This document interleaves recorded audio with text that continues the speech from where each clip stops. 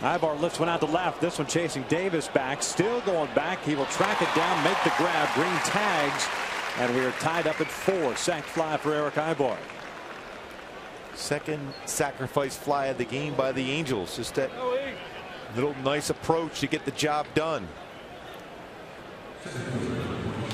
Quality at bat for Erick Aybar. 52nd RBI.